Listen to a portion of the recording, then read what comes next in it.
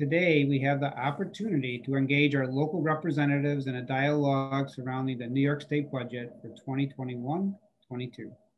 We're thankful to both Senator Akshar and Senator Oberacker for taking the time to listen to our Racker community as they navigate one of the most difficult budget seasons on record. First, allow me to introduce Senator Fred Akshar of the 52nd District, Senator Akshar has dedicated his career to serving and protecting the citizens of our community. He spent 15 years with local law enforcement, two years with the Chenango County Sheriff's Office, and 13 with the Broome County Sheriff's Office. Senator Akshar's law enforcement experience touched on every level of the Sheriff's Office operations and provided him with an intimate knowledge of the concerns of the people and communities across the entire region. He's a graduate of the FBI Academy and uh, Broome Community College, and he rose rapidly through the sheriff's office ranks, ultimately rising to the rank of undersheriff. Senator Akshar, on a more personal basis, has been a friend and a champion for children with, uh, and adults with disabilities in our community. He brings passion and leadership to the fight for a living wage for direct support professionals. Senator Akshar serves as the ranking member on both the Crime Victims, Crime and Corrections and Civil Service and Pensions Committees. He also serves on the Disabilities, Alcoholism, and Substance Abuse, Codes and Labor Committees. You're busy.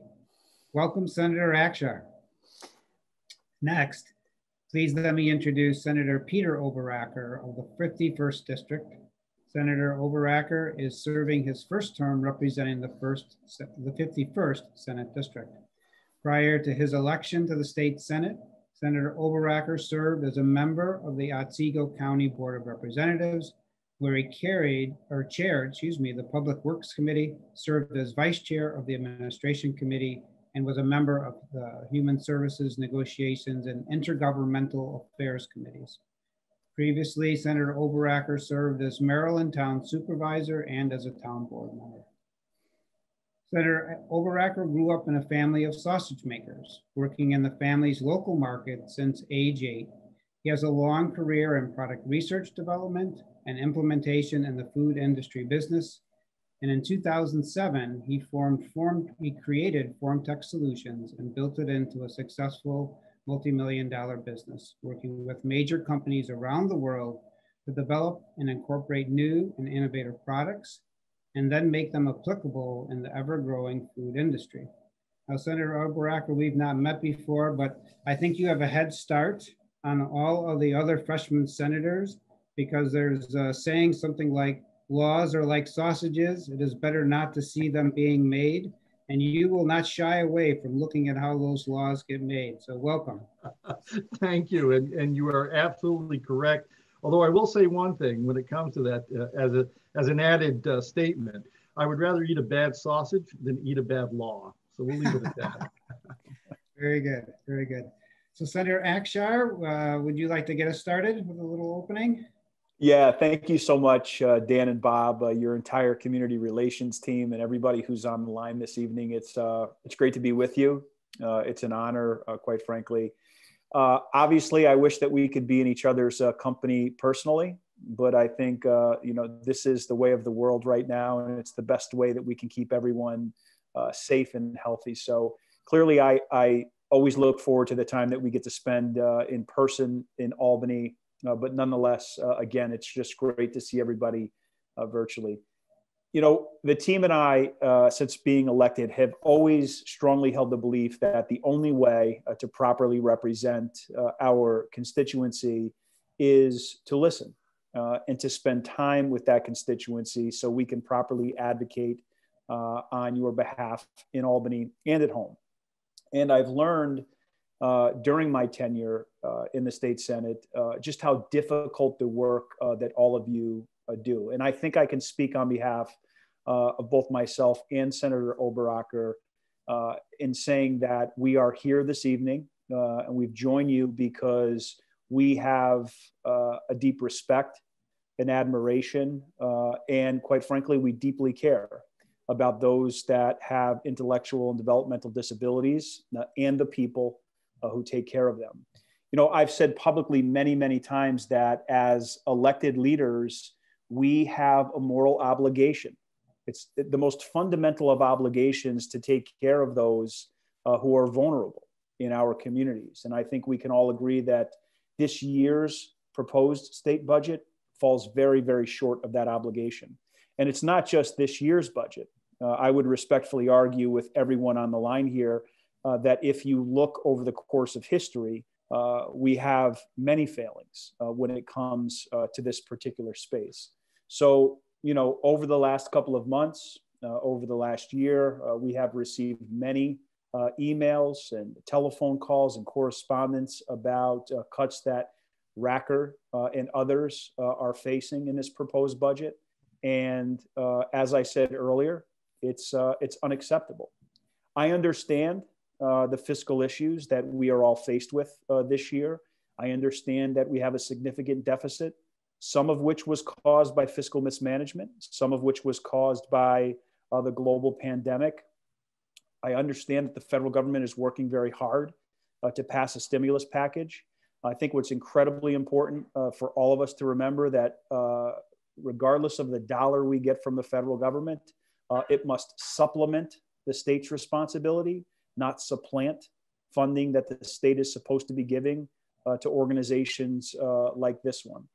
So um, we've had some small victories, I would say. Uh, if you look at the restoration of uh, the cut that was talked about, that is important.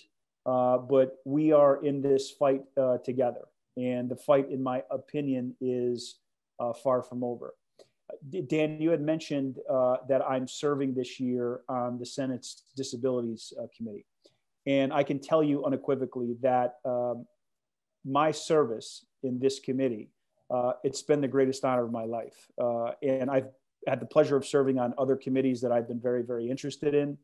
Um, but specifically when it comes to those with disabilities, uh, you, you have to have people uh, that have a passion to do what is right uh, and be willing uh, to put in the time and the energy uh, to uh, get people to realize the importance of what it is that we're trying to do.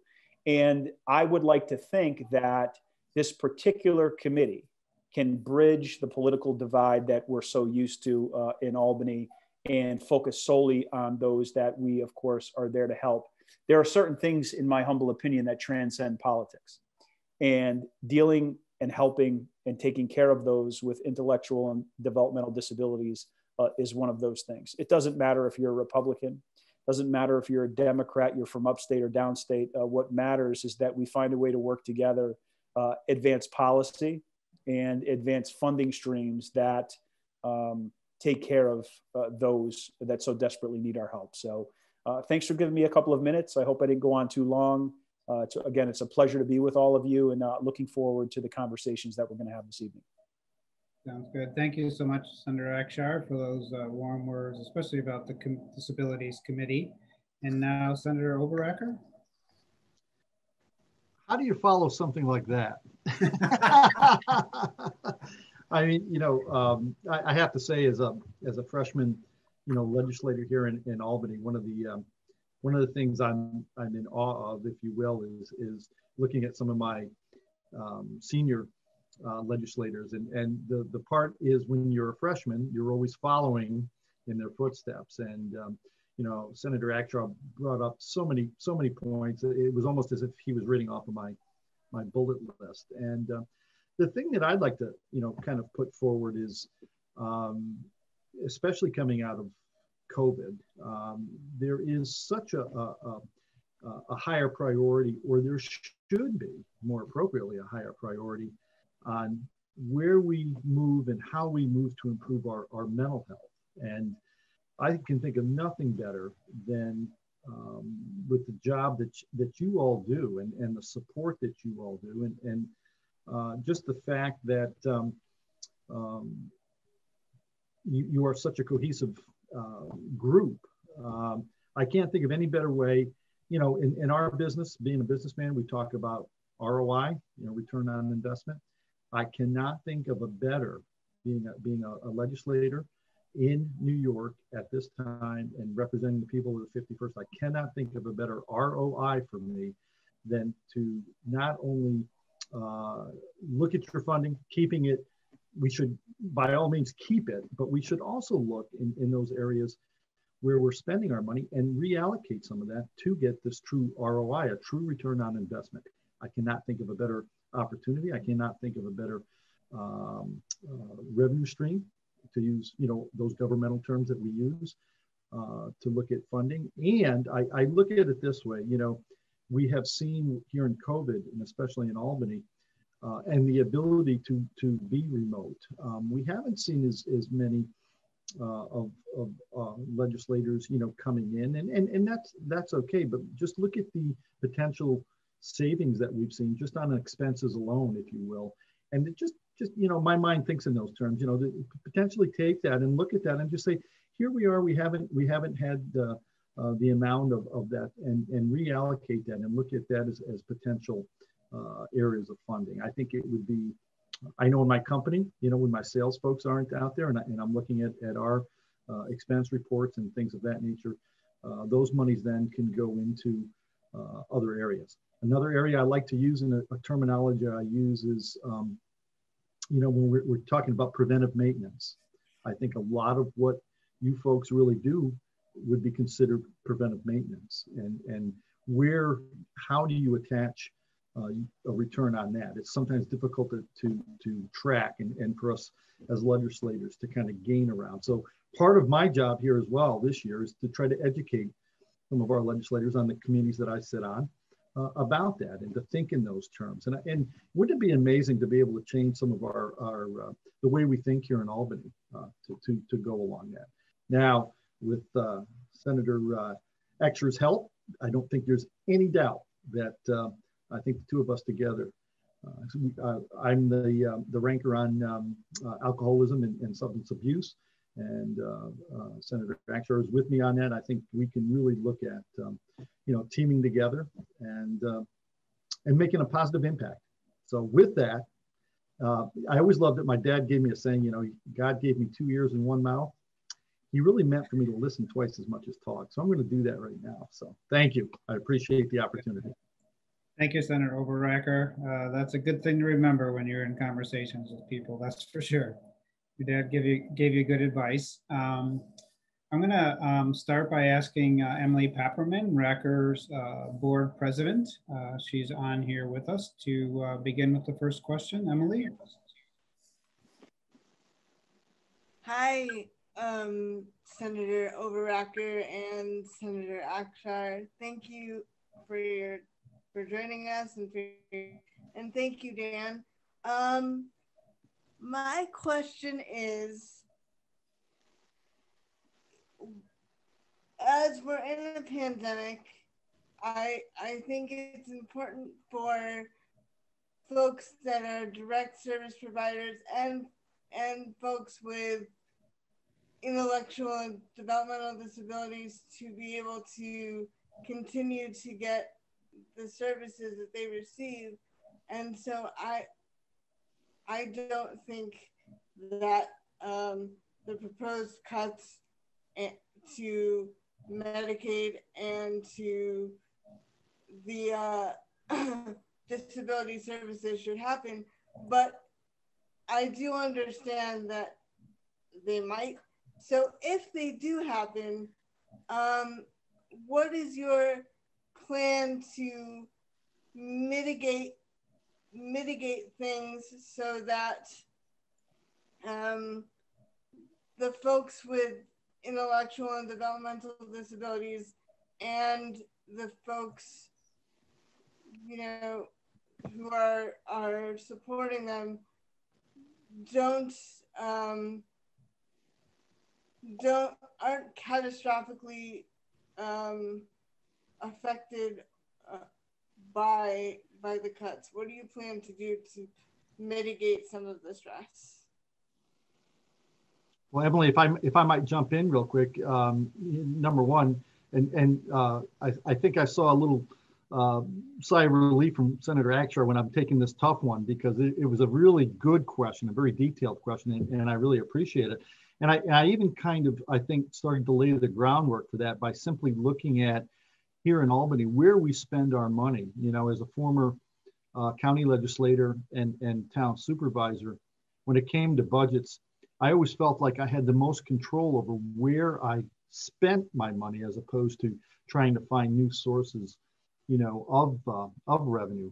Uh, as a government, you know, th- those sources of, of revenue usually come down to uh, increasing taxes. And, and I've always felt before we went that route, um, I would look at the total picture of where we, you know, spend our monies, and then look at uh, reallocating some of those areas uh, to, to again areas that I felt like are in need, or, or we can actually see some good come of it. You know, one of the other things I think we do, in, or we don't do well, I should say, in government is we don't we don't do things that we could um, take a little credit for, if you will, that are that are good things, you know. Um, and and I feel like your question, um, if we look to reallocate some of our our uh, uh, spending monies in, into support this, okay, what better way to come back and say, look at the good we've done, right? Look at look at something here. I can I can hold it. I can see it, right? I you know something that we have really done that is a, a feel good moment and coming out of where we are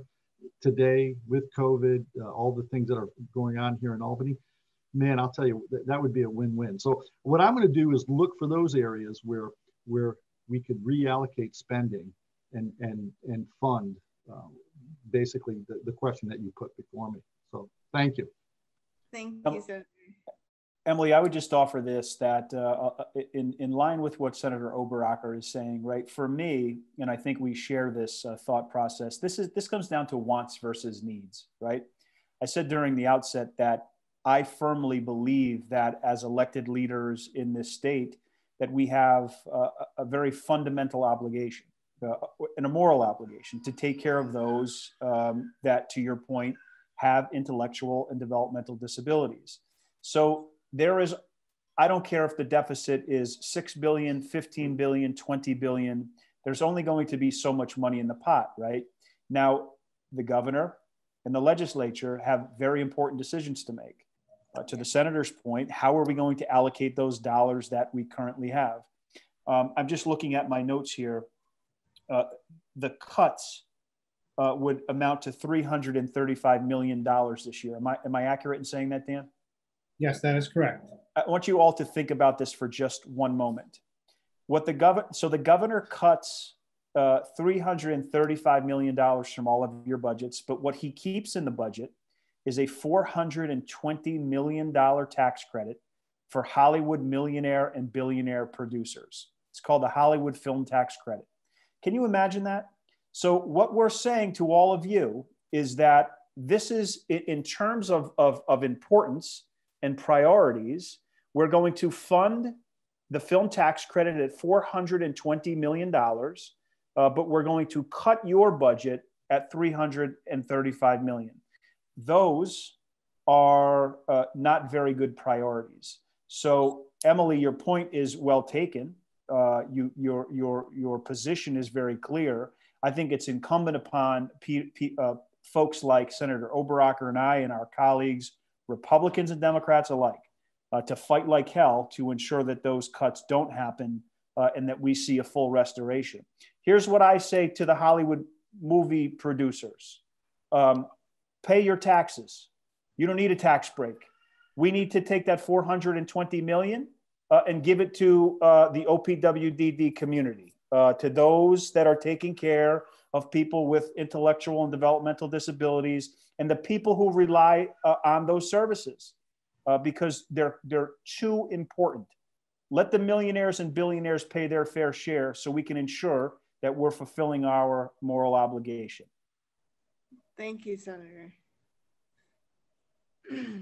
Just to add a, a, perspective on that, so thank you very much, both of you, for that answer, Senator Oberacker. For you in particular, uh, last year, and Senator Akshar was uh, very helpful and instrumental in making it happen. The legislature pushed forward uh, increasing the pay of direct support professionals by 2%. Uh, um, and then in the same year, they're going to cut us by more than that. And somehow the, that math does not add up for me. and again, you know, we, we, we look at those things and, and uh, Dan, you, br- you bring that up, you know, what a, what a great opportunity to say, like I said, take, take a, a victory lap, right? We increased uh, you know, the pay, and then we, we go and, and kind of shoot ourselves uh, in the foot with that. It, it, it really is, um, uh, it, it gets frustrating and, and discouraging. Um, but again, um, I, I, I'm, we're going to change things.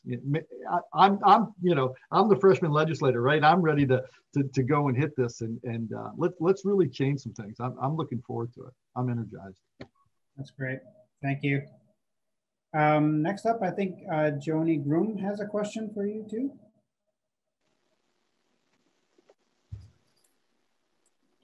Hi, Senators. Um, thank you for giving me this opportunity to ask a question. And I want to say thank you to Racker for giving me the opportunity to ask a question as well. Um, for the Senators, my name is Joni Groom. I am a CSP, Community Support Professional. Um, I am 61 years old and I live in the city of Ithaca. And I am currently juggling three different jobs in order to um, make a living. Um, and so I think this question has been asked, but I will ask it again because it's so very important. Um, will you advocate for a cost of living increase or a wage increase for a direct support, for direct support staff. And what I would like to add to that is um, we love our jobs and we love working for Racker and the mission and the absolutely incredible organization that they are. It's, it is very difficult to sustain a living, however, with the wages that we are making. Currently, I'm in a position where I may not need, I may not be able to stay in my job because I can't sustain my home and my living. And I work with children um, with developmental disabilities. And it, you know, it takes about seven months to really know the kids and to really know what they need and not only take care of them, but support them and then include them in our community. And what happens, senators, over and over and over again is the turnover of staff. Mm. And it's not because they don't care. And it's not because they don't love their job. And it's not because they don't believe in the mission of Racker, but it's because they need to take care of themselves to maintain a living. So I ask you again will you advocate for a cost of living increase or a wage increase for direct support staff. Joni, let me uh, start by saying uh, two things. Uh, I'm sorry uh, that we have to have this conversation uh, and that uh, the very people who are charged with taking care of those with disabilities have failed you. And I'm talking about the very government which I serve. as far as I'm concerned, uh, you and others like you are unsung heroes. You, you, you are. Um, the, the job that you do. And I, I know without a shadow of a doubt that um, you don't do the job to get rich. Uh, you do the job because you love the people uh, that you're serving. And uh, Dan and Bob can tell you this. Uh, my record uh, speaks for itself in this area. I promise you that I will go horse again ensuring that my friends across the aisle who are currently in charge of the budget process reject the deferral of the cost of living increase and that we do our very best to allocate state funding to pay a good wage. So you don't have to work three jobs. so you don't have to search for another job so you can take care of yourself. I mean, just on a very personal note, uh, I can't imagine the emotions that people like you go through in just having to consider leaving the very thing uh, that it is you love so much uh, and, and leaving the people that you're charged with taking care of. Right. So there's that emotional piece on your end that I recognize that I, I, I pretend to understand. I, I mean, I, I, am not in your shoes, but I, I, I, I have a sense of what it is that you're feeling. And then I can't help but think about the, the, the, the young men and women that you're serving that come to know you, Joni, as the person who takes care of them. But then you're, you're, you're tasked with having to make this uh, very, very difficult decision, right? About taking care of yourself. So you ask Dan or you ask Bob, I promise you, and I know I'm speaking for Senator Oberacker now, that uh, our entire conference uh, will proudly stand up with you um, and ensure that we do our part uh, to, to not only keep you whole, but to, to make you whole. You know, as a, uh, Joni, as a businessman, um, when, when we find uh, an individual that number one is passionate, um, uh, that you've expressed to me already, I could I could see that. You know, when you were actually talking about it, I, you know, your your face was flush. I mean, you were you were that um, energized and, and and passionate about your position. So when when I as a as an owner of a company have have an employee or somebody who's that passionate about what they're what they're doing in their life, I mean, uh, I don't see that very often. You know, I, I, I see folks that are there just to have a job, you know, and, and just to go through that. So when I see this uh, this this energy that you are are projecting out, um, it makes me so much easier to go and be your advocate and to say the same as, as Senator Akshar just, just basically laid out. We need to get people like you who, who uh, want to do this to be able to do that. I mean, we're, we're taking care of you as, as, a, as a constituent. We're taking care of the, the, the uh, you know, the residents that you, in essence, take care of and build that relationship with you know, again, and when I was in Otsego County, you know, we used to have a, kind of a lot of turnover. And um, it was because we didn't pay as well as some of the other uh, areas out there. So we would go and train somebody, uh, expend all that money, time, effort in training, and then off they would go in, in other areas. And, and I think we, uh, and, and I mean we as, as both uh, uh, Senator Akshar and myself, uh, and, and as the government, we're the ones who are losing, you know, investing in, in, in what you do. So again, I'm, it's a long drawn out answer, but I am going to be an advocate for that as well. Uh, I, I, can think of nothing more than to get you a wage where you can uh, live, uh, you know, adequately, I guess would be the word. I, I mean, I, I, can't think of anything else. Uh, you know, we're, we're not talking about like a luxury type thing. We're just talking live adequately, live in, in, in the, the, the job that you have this passion for and again, you know, I, I keep going back to this. I think uh, Senator Akshar and myself, we could then take and say, man, look at look at what we've done, right? This is we, have actually taken a, a, situation that was um, negative in, in nature. We, we've in, applied some funds to it. You know, I mean, like like there was some magical thing, applying some funds to it, and actually look at the good that it's produced. So, um, yes, I would be an advocate for you to uh, to to support that position. Fantastic. Thank you, uh, both senators, for that commitment. Um, it's absolutely needed. Um, you know, the direct support professionals uh, wage um, in our organization, the highest that we can start people at right now is $13 an hour based on the funding that we get.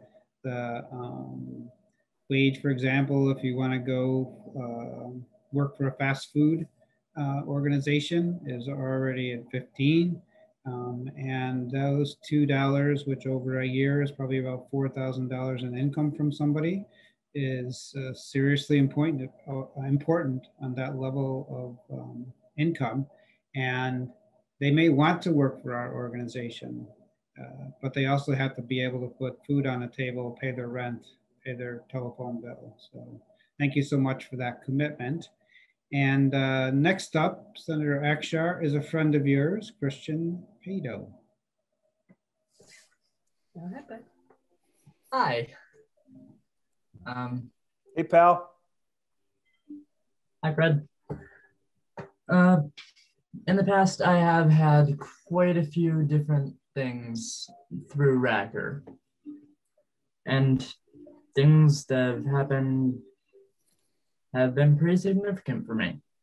My staff, I've had a couple, most, a few of them, if not most of them. The reason why they didn't stay with me was because of the amount they were getting paid. It unfortunately wasn't enough for what they needed to support their family. And when you think of something or a job to support family, do you think of flipping burgers or do you think of actually helping people? That's one thing I'd like to say, first of all. Also, it wouldn't have been possible for me to do anything if it weren't for this organization that has helped me so much, Racker, because, well, they've helped me get through my social awkwardness by helping me go to different places that I never would have been able to find or get to on my own. And they all had places that had people that were similar to me that I felt comfortable talking to. It's helped me a lot. And, you know, we just are really thankful for everything that Racker has been able to do and everything that my staff have helped me achieve.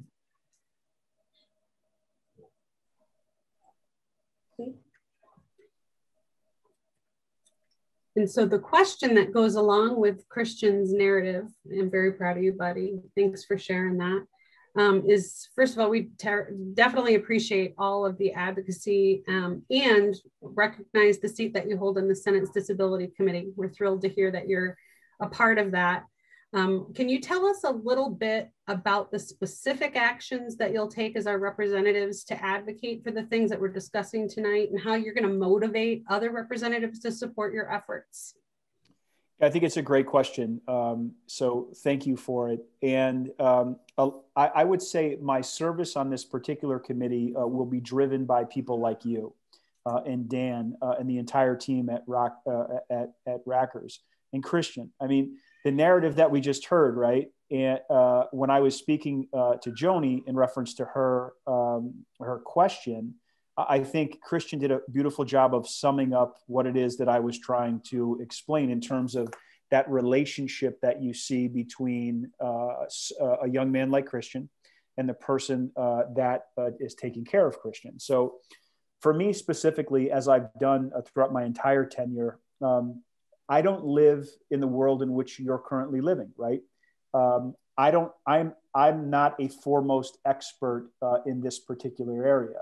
What I am uh, is a blessed elected official uh, who has always pledged to the people uh, to be a very loud and energetic voice.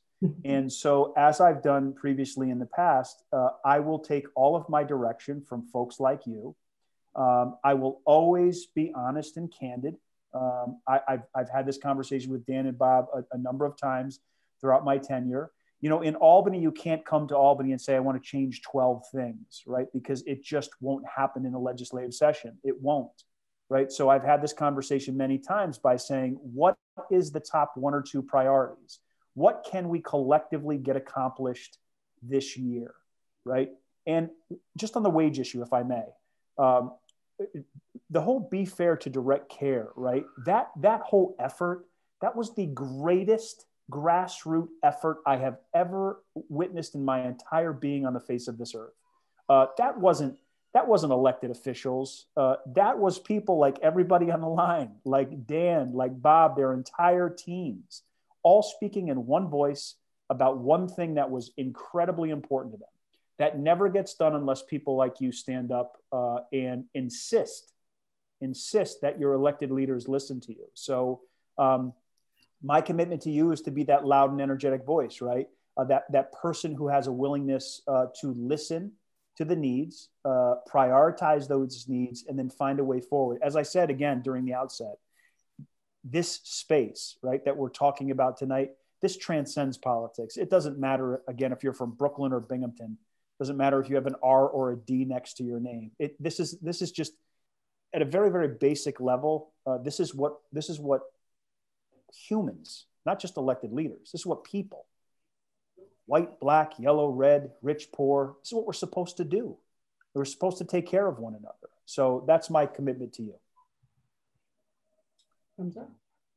I would uh, do a probably the shortest political answer you'll ever hear uh, right now. Um, and, and Kristen, you did an excellent job, by the way. I mean, you really, uh, um, as, as, Senator Akshar said, you really brought it home um, in, in a very poignant way.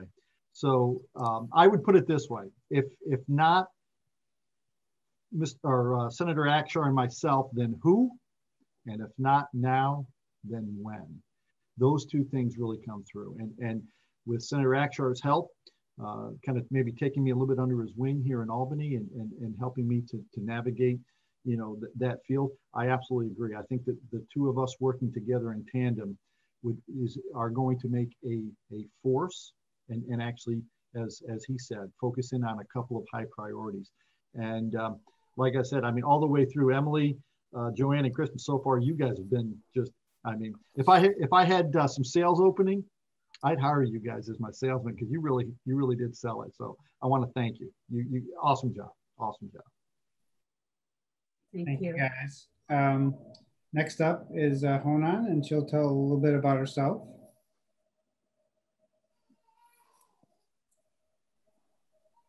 To be fair, it's not really my first time talking Maybe political or, well, can Honan be it's not my first time talking to government officials, as you may have already guessed. Christian, you're a rock star, baby. I mean, every anybody who knows you knows that you're a rock star. It's it's perfectly fine, uh, and you should feel very, very. I, I, I note. I jotted myself a note here. Excuse me, Honan. I, I'll be done in just one second. You mentioned uh, you felt awkward, right? I'm here to tell you, without a shadow of a doubt, unequivocally, there is nothing, nothing awkward about you. Nothing. Nothing. And you should be taking all the credit in the world like you are because uh, you do a great job when you talk to elected officials. I'm sorry I'm, I'm, I took up your time. No Oh, thank you, Christian. That that um, that's my my comment as well. And I have um, I have a child. I have a son. I don't know how old you are, Christian. I have a 21 year old son who cannot speak. So I'm so grateful. I, I- such an eloquent, articulate young man like you, who's a member of the community. I'm so proud of you and so thankful for having you as a member of our community. Thank you, Dan, uh, for organizing this and for giving me the opportunity to ask a question, share comments. And thank you both, Senator Akshar and uh, uh, Oberacker, for um, your truly listening um, among this room of beautiful souls. This is really uh, refreshing. Your very positive and energetic uh, response to the need uh, that you are hearing in this room. This is very, very refreshing for us and really gratifying too to hear our elected officials being true believers to a cause that we share here. I am, um, my name is on the screen. I am a, a parent. Uh, I have a 21 year old nonverbal autistic child who's very low on the spectrum in terms of his um, um, socially accessible skills. Uh, I know how brilliant he is, but uh, it, and the members of this uh, community knows, but in, in the NT world, not recognizable. And our family has been served by the Racker Center since my son was a toddler. And he has now lived in one of our residential group homes for close to 10 years. I am a full-time working mother. I uh, prior to COVID, and as soon as I get my vaccine and I get my um, border crossing card ca- carrying uh, vaccinated uh, credentials ready, I'll be off on the road again. I could not hold a job and earn my own retirement pension living uh, my own retirement without these people in this room. They are not just supporting my child, they're supporting people like me, the parents. I couldn't hold a job, live the life, live my dream. I'm an immigrant, live my American dream without the people in this room. And over the years, close to 20 years, I've seen people. I when I started first started working with the Racker Center, I thought our I don't know if you guys remember, was there a time where my lying when our folks earned seven ninety nine or seven something, seven dollars something an hour? And now it's like double that, a beautiful full thirteen dollars. And sometimes we've lived through many crises with our teams, especially the residential home. And I've seen our people on $13 an hour working investment banking hours around the clock, day, day shift that goes to night shift. It's like the COVID lockdown, like day and night knows no beginning and end. And they're the magic for like my son, he's pretty challenging, uh, has behavior issues every now and then. We've uh, problem solved, lived through many crises together. But the only reason, and I, I am not exaggerating, the only reason a parent like me could hold a job, could sleep, is because of the magic in this room. And they get paid $13 an hour. And we, every time I get an email from Dan, I send it to all the people, you know, uh, the listservs I'm on. I said, let's call our legis, you know, uh, legislators, let's call our officials. But somehow that just not it does not feel like we've done enough because changes have not taken place yet. And the revolving door issue that Jody mentioned just now, that, that means safety and well-being for my child. To have a professional, it doesn't take somebody who has a PhD, but it has take somebody who has that heart of gold and that compassion and that commitment, that dedication, and that on-the-job training to be able to support children, young people like my son effectively. And you see those people go in and out of the revolving door. Every time when we have staff transitions, I know that because it shows in my son's self-interest behavior, in his loss of appetite, in his severe erosive, you know, uh, ulcers in his esophagus. It manifests itself in the way he cannot keep himself safe or the people around him safe. This is life and death safety issue that you really can create a legacy. Your, this could be your political legacy. So um, we really appreciate your conviction, um, your commitment. The question is, comes budget season, I can circulate Dan's email to four Cornell University email listservs and I've done that years in, year out, but we have not seen things happen yet.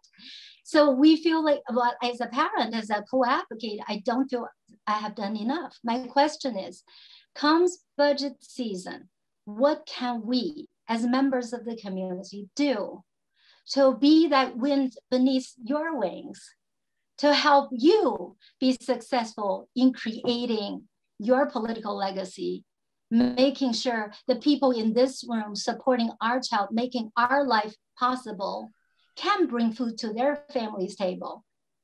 And they don't have to work investment banking hours at $13 an hour. Uh, so what can what more can we do to help you be successful in your job, in your conviction, and help you build that allyship you need around the table so change, true change can happen.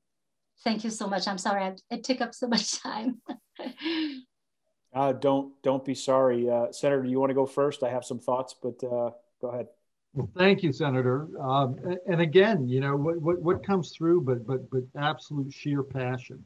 Um, uh, that's that's the start of it. I mean, you've communicated to to uh, two senators um, your your your story, your situation, and your passion. Your your you, you know uh, that's what gets us energized. That that's what you know um, gives me the energy to, to fight. I mean, I think Senator Akshar and myself, um, you have to have a little bit of a fighter in you, you know, and and to be that advocate, to to come up, to come up here to Albany and to say, you know, uh, look, I'm I'm blessed, as Senator Akshar uh, alluded to too. I'm I'm blessed. I have been blessed uh, all through my my life uh, with with uh, uh, you know, I, we everybody goes through some, some trying times. I, I was very fortunate to be able uh, to come out of that and, and, to be where I am. And so part of me, you know, is is there's a time to give that back and and to uh, plant that seed and, and hope that that uh, comes forward. And and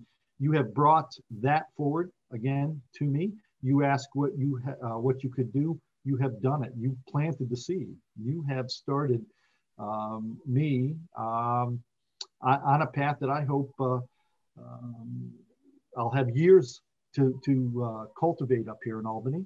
And, um, and, and like you say, something that we can literally hang our hat on and say, look at what we did. Look at, can we imagine New York, uh, New York State with all the other things that are going on, right? And, and as Senator Akshar knows, there's, there's a bunch of them, right? Wouldn't it be amazing just to be able to say, look at, look at this, this one thing, just this one thing, and look at what we did. We, we, we focused our attention, we focused our energies, we focused our, our abilities, and, and look at what we were able to accomplish. And you know, I, I've been hearing this a lot from everybody, and everyone says thank you. Well, you know what? My dad had a saying: you don't have to say thank you for doing what's right. And and basically, this just breaks down to it's what's right.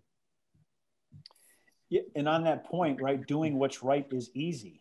It's it should always be easy to do what's right. And you know, you said, what can we do, Dan? I, I think we should. Um, uh, I think we should bring uh, Hung uh, to Albany with us uh, because uh, you know you you hear the fight uh, in her voice, you hear the passion in her voice, and we have to get others uh, to recognize that this issue is far too important.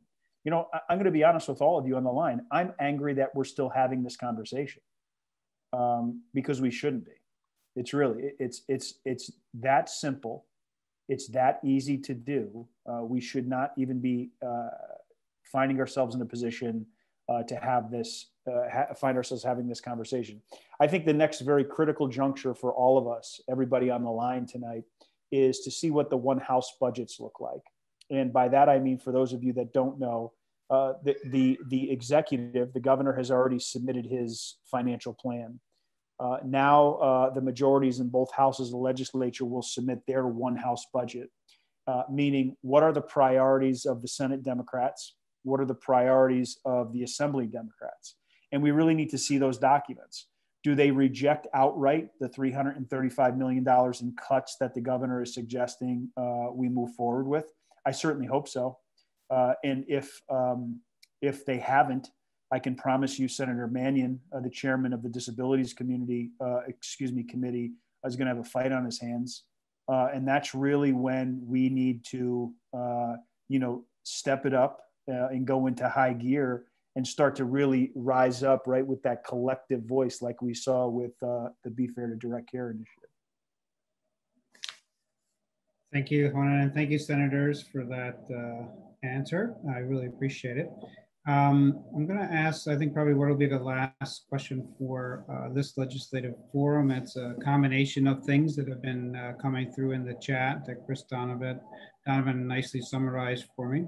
Um, one of the things that we run to run into as an organization across all of our different programs, whether it's people we're supporting in homes, our work that we're doing in school districts on mental health, in our preschool programs or uh, in the work that we do in the community with um, occupational therapy, speech therapy, physical therapy is uh, a lot of bureaucracy. And the bureaucracy limits the flow of funding to the people who need it most. Things like multiple hoops to jump through and redundancy across the continuum of care, what work can be, and I want to know, and the, from the chat was what work can be done to remove all the hoops and delays to meet the needs of people with disabilities in our community. You know, one of the things I, I was noticing, uh, Dan, uh, in, in my very short time here is, um, uh, and, and as a former supervisor, I, I kind of equate this to uh, the mandates, you know, that, that um, tend to be a, a, a top-down version, right? A, a way of uh, managing, if you will, from a top-down, you know, perspective.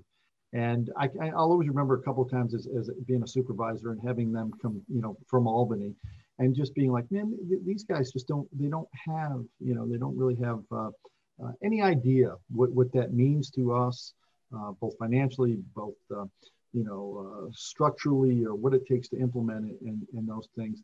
And uh, I always said, almost, well, I did say it before I got here. I was like, I, I thought it was on purpose. It was, it was designed that way to, you know, create this, um, this system so that when you try to work it from the bottom, from the bottom up, um, you're, you're met with these, you know, roadblocks and, and to prevent you from actually uh, getting there.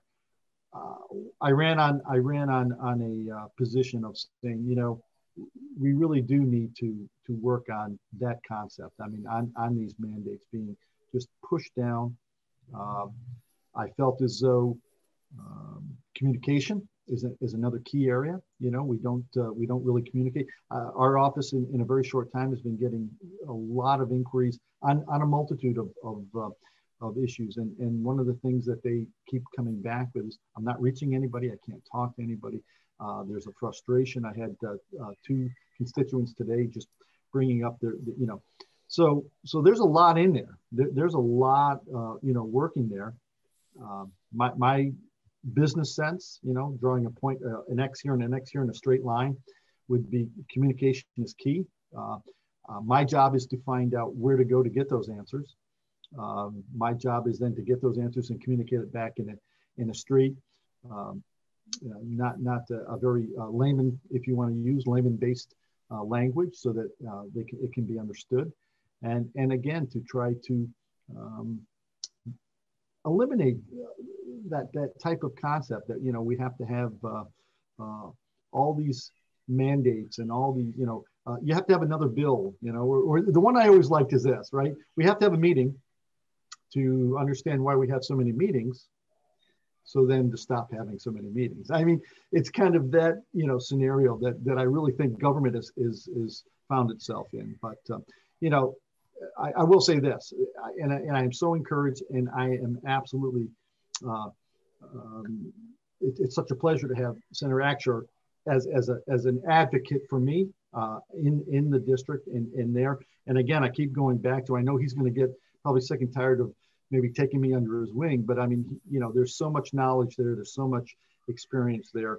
Uh, that's what I'm looking to actually ascertain as well is, is, is finding out, you know, you know, uh, Senator, I, I, have this issue. Where do and and he can get me there in such in such a, a short period of time. So um, I'm going to take what is successful, hence Senator Akshar. I'm going to copy that uh, as I did or I plan to do as with Jim Jim Seward, who was absolutely a, um, unbelievable senator for, for 34 years, and uh, hopefully um, maybe make a little twist onto it, you know, to add my own little flavor, if you will, to it, uh, Dan. But um, I really would like to see us just think more in direct terms, you know, especially when it comes to communication.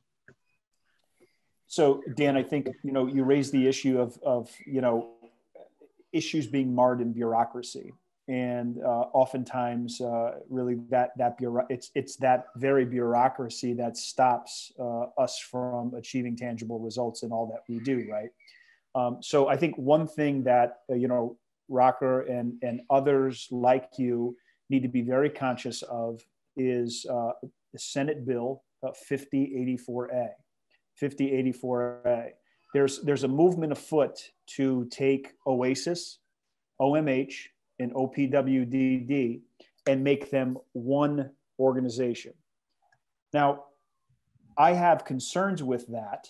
And of course, I would take my direction from folks like you.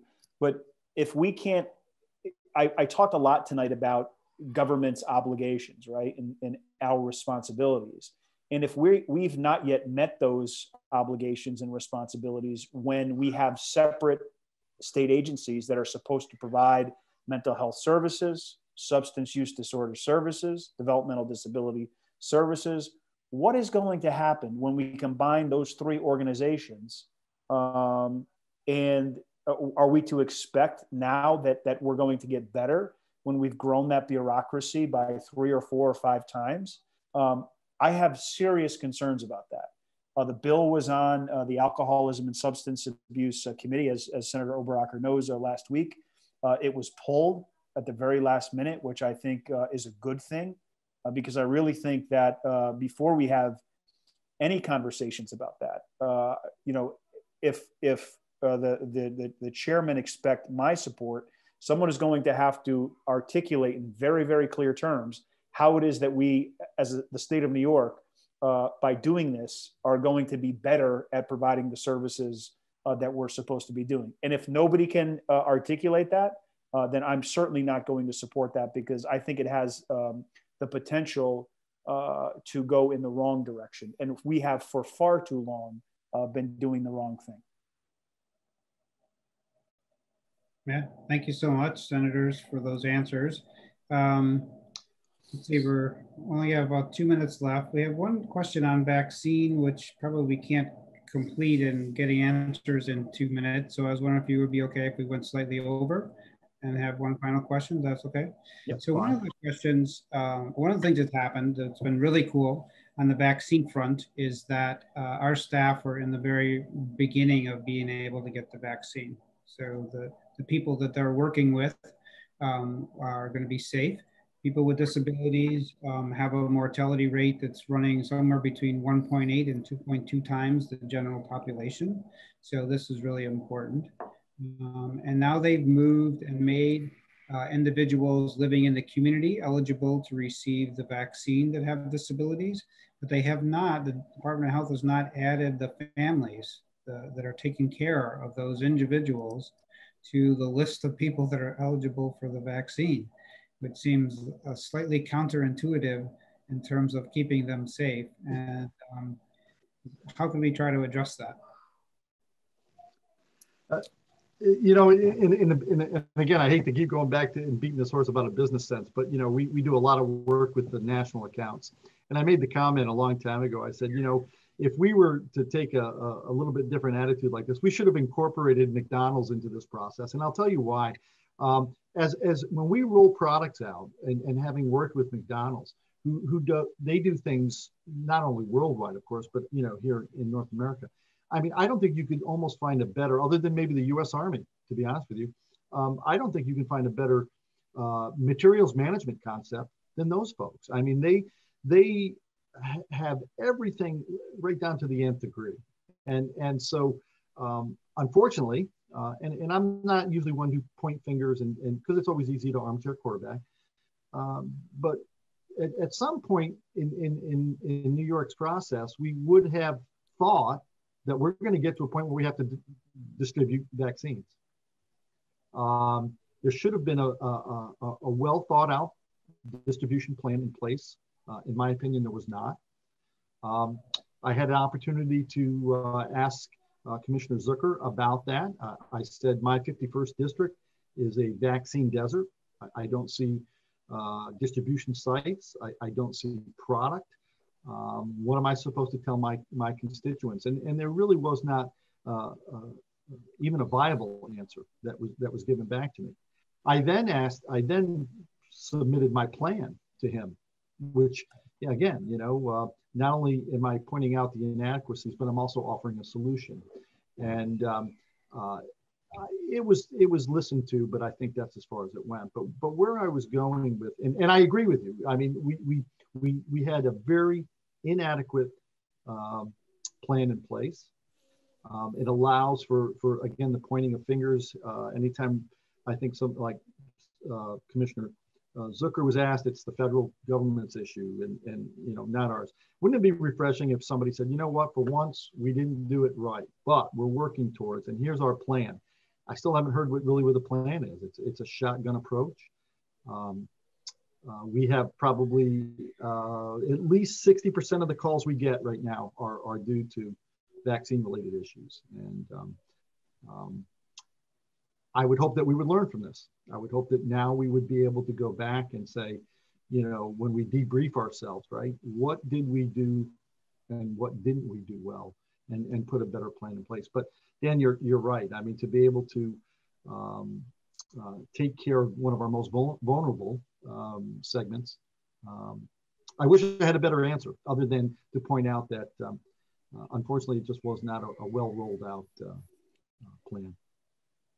Dan, I, I, think what we could do in the immediacy uh, on the issue is uh, I don't want to speak for Senator Oberacker. I'm, I'm guessing he'll he'll agree here, but uh, why don't uh, I know Benji Fetterman from my staff is on the line? Why don't we pen a letter to uh, Commissioners Zucker and Kastner uh, in relation to this particular issue, and you know very politely suggest that they open this up for family members of those um, that are dealing with. Um, intellectual and developmental disabilities. We can we can put that uh, together uh, tomorrow and get it over to Senator Oberacker, and then uh, we'll get you a copy of that uh, when we send it off. Great I think, idea.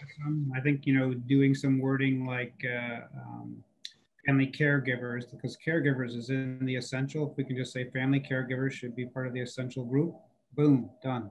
Yep, we're, we're happy to do that. And um, Benji is coming to Albany with me tomorrow. Uh, he's got lots to do, and uh, we just gave him something else to do, but uh, I know he'll happily do it. So. Thank you very much. And senators, uh, thank you so much uh, for joining us tonight. As Honan said, you have listened um, sensitively and nicely. And then the other thing I wanted to mention is that um, you haven't just given us platitudes. You said you're going to take action, and we very, very much appreciate that. And thank you so much for your support and for joining us uh, during the evening today. Great forum. Thank you. I appreciate the uh, the invite, Dan. And thanks, thanks uh, for all that you do as well. I mean, uh, just a, a, a, remarkable organization uh, that you are in charge of uh, with just uh, loving and dedicated uh, people who are doing God's work. And um, really, just on behalf of the people that I represent, but more importantly, just from from my core, I say thank you. And thank you is not enough.